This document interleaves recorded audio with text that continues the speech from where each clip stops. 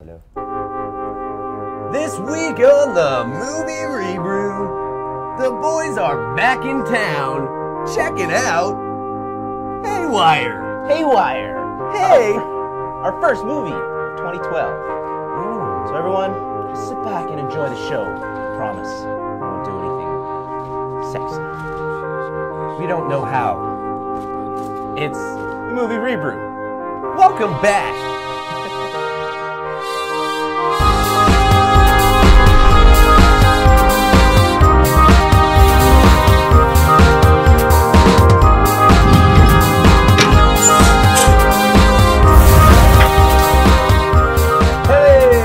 Welcome to episode 101. 101. Movie 101 Dalmatians. Rebrew styles. Dalmatians.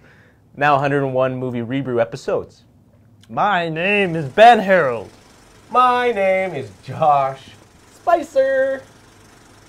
We're back this year because we took some time off because it was the end of the year and you know the 100, 100th episode was top 10s. It just kind of worked out that way and I was really excited that Jonah could be back with us for that. Yeah. Uh, Had some turkey, got Way too tired, much. took a nap, drank a lot of steam whistles over the holiday season. took another nap. Well, you should too. Drink steam whistle every day. It's good for you. I swear to God. all day. Well, this week we went and saw Haywire. Let's talk about it, Ben. Okay, well, Haywire, new movie from Steven Soderbergh. It's a Soderbergh. It's a Soderbergh movie. Yeah, and it was One it of the one like of it. yeah one of the more versatile directors in Hollywood today. Yep. Um, I liked Haywire. It reminded me a lot of a movie we saw previously called Drive, where it's a subcompacted movie within 90 minutes. It's an action movie, much in the vein of Taken, where it's a revenge movie. You know what's going to happen. She's going to get her revenge. It's, Mm-hmm. It's- obvious. Pretty predictable in that. But it's also obvious that Steven Soderbergh has his signature all over this film. If you've seen any of the Oceans movies, you'll know exactly what we're talking about. Style over substance.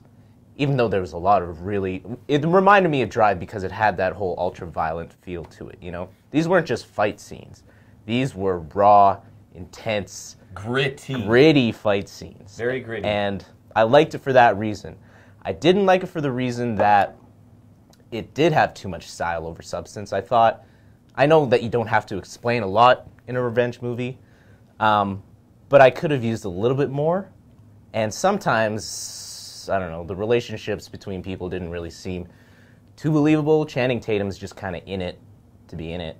Um, well, pretty whatever character. Yeah, and I guess a character like her doesn't really want to have ties to anyone, anyways. So, Like Colombiana, but done way better. yeah, kind of like that. This is like Colombiana, but done by Steven Soderbergh. Gah. Anyways, uh, Haywire, I'm giving four out of six bottles. Uh, it's cool to see an actual fighter get a chance to do a movie, and Soderbergh is known for doing this, taking people that are not actors and making them actors, like he Yeah. did with Sasha Grey, the porn star, and put her, Yeah. you know, the girlfriend experience. But this is, he just gets action movies and like kind of crime drama, like with all the Ocean's movies and stuff. But those are way on the over stylized. This just had like you know he's not going to make a movie that looks bad. You No, know? of course Like not. this looked amazing, and I loved like how gritty it was, and he's just really good at doing that. Yeah. Uh, the story overly predictable and kind of dragged a little bit in the in the middle, but there wasn't much else to it other than like Yeah. wow, I was really blown away with, like when she kicked, Gina like Carano. yeah, like Yeah. when she like kicked back and like you could just tell she was just like in the She's a fighter. She's a fucking fighter, and like was just. She looked really good while she was doing it too, but Yes, she did. and I like the little uh, hint at Wonder Woman because I heard somewhere that she's in talks to potentially be in that role. Yeah. And I'm excited for that. But this, I, well, it's pretty much what I thought it was going to be, and it's in your face action movie. So Yeah. I liked it. And four and a half bottles for me. Um, I got a beef with her being Wonder Woman because yeah, she's brawny and she's you know, obviously beautiful and at the same time kind of masculine and tough, which is what Wonder Woman is. But she's a little too stumpy for Wonder Woman. I think Wonder Woman needs to be taller. She's got to have the legs. Just my own personal opinion, but yeah, you're right. This is a star in the making with Gina Carano. She She's- is She's not a UFC fighter anymore. She's, She's- retired now. Yeah, and she's got a whole bunch of different producers and scripts being sent her way, and like she's gonna be a lister for sure. After- Yeah, probably the next big action movie star. Yeah, or if not, just star in Yeah, general. and especially recently because like there's a new demand for female action stars. I Mhm. mean, Girl with the Dragon Tattoo is a really good uh, recent example of you know that kind of female, strong female presence in a movie because up until now and maybe kind of like a distance between like the Alien movies and the Terminator movies, there hasn't really been Mm-hmm. She that is strong Terminator in this. Yeah, so I think this is a good start for uh, a new action star to emerge. I liked it. Check it out. Honestly, it's a Soderbergh film. Like, we're I don't think we'll really ever hate. Well, I haven't. I really haven't either. So, hey, good job, Soderbergh. Good job. Again. I can say your name right. Soderbergh. Haywire. You better run. New on DVD for the week of January 23rd. French immersion. Bye, Mike. 50 50 50. The Whistleblower. Whis. Restless. Real Steel. And our feature for this week of January 24th, 2012 Well, is episode, wait, is featured on episode number 96. It's called Paranormal Activity 3. the third one. That's right. Ben gave it, Four. and Josh gave it. Four and a half.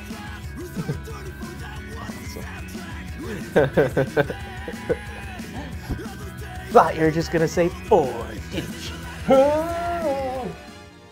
Also in theaters. Underworld Awakening, the story of vampires and lycans alike. And Kate Beckinsale Back in black. She's back in black and blue eyes. Back in black. Laremy Legel, that's gotta be a fake name. Laremy, maybe it's French. Laremy Legel, Legel, from film.com says, Bake, Bake, Beckinsale. Uh, Kate Beckinsale's Selene remains one note, but it's a wildly entertaining note. That one note. You know what? Tom Russo, Boston Globe, said the most generic entry of the bunch. Wow. Differences. You know what's also in fucking theaters this month? Weekies? What? Red Tails Ben. Oh, Hey, why don't you say your boy from Tom Long? Tom Long, straight out of Detroit News, says His the- boy. The, yep. Bear with me. I don't know how to say this. The Tuskegee, Tuskegee, s- yeah, the Tuskegee Airmen were serious heroes on a number of levels. They deserve a serious movie. Red Tails is not that movie. Oh, you know what? Roger Ebert. He, I guess, is writing for Chicago Sun Times. Always pretty much has. Always. Substitute 1940s fighters for spaceships, move them closer to Earth, and you have the audience appeal of this movie. Oh, because it's Star Wars and it's George Lucas, Right. and he did this movie. he was a pre- Oh, Don't. Stop doing movies, George. yeah. And now you have the 3D Star Wars coming out. Wow. He's like, well, uh, Beauty and the Beast is doing it. But there's an appeal. Also, you suck. Woo! Hey, thanks for joining us on this 101 101st episode of the movie Rebrew. we're adorning guns in lieu of haywire. In lieu of Haywire. Next up, I'm gonna put Josh in a chokehold with my legs. No, No. That's No. not that's not happening? no. Fine. Okay, well, we're back on track with the show, and it, this is the part of the show where we recommend you some movies that are out Yeah. that we think you should watch. Yeah. I just watched it the other night, uh, and I actually recommended it to Ben, so he will be taking this after. But the movie is called Brotherhood. It's. Uh, I was gonna watch Red State, but this trailer came on, and I owned it and hadn't watched it yet. I so, see from the back it's won a, a couple of awards. Uh, audience awards everywhere. Wow. Yeah, South by Southwest, Dallas, and Bingham. Bingingham. Yes, Awesome. check that movie out for real. It's gritty and good and just fucking pretty cool. Looks pretty good. Mm-hmm. Looks like um Are you in or out? Kind of looks like Better Off Tomorrow. Or Yeah. Better Luck Tomorrow. Better sorry. luck tomorrow. Kind of the Okay, sweet. Sweet. Okay, thanks, Josh. Mm-hmm. I'm gonna put my piece down and recommend Source Code. Um, The director of Moon. the director of Moon, who is also the son to David Bowie, Yes. um, He had a bigger budget on this one. he did have a bigger budget. Hired Jake Gyllenhaal and Michelle Monaghan, and uh, Vera Farmiga is in it too. This I like this movie because it reminded me kind of like a new age Hitchcock movie. You know, There's a- weird. It is weird, but there's only really two places to go in this movie. You can either go on the train, or you can go to that other part, which I'm not going to say. So, go see this movie if you Well, want. a spaceship. Yeah, I'll say a spaceship. Well, that's what it is. I'll say a spaceship. Um, go check this out if you want to have a fun night of um, movie watching. yeah, yeah. Oh my god. Well, we like to tell you to check out CalgaryMovies.com. That's where we go. That's where I went today to find out the show times and listings for the movie we saw today, which was Haywire. So go there and you can check out all our every single one of our episodes on there. So we thank you, CalgaryMovies.com. Mm, Yes. I thank you too. Also, we got to thank Steam Whistle for providing this very balanceable beer. Yes. Steamwhistle.ca. Toot toot. Part of a well balanced diet. Yes. Can I do that? Okay. Well, at least you didn't spill today. No, I didn't spill today. Woo! That's something to cheers about. No, cheers. Hey. also, uh, check out therebrew.com if you're not watching this there because it's still up and running. I just haven't had time to uh, update it lately. So, whatever. We took a break. Okay, we're back. I had a nap, like three. Yeah, we. Yeah, whatever. So lay off. We'll see you next time on the movie Rebrew when we talk movies and drink beer like we always do. Okay. Signing off. Josh out. Ben out. Nash out. God.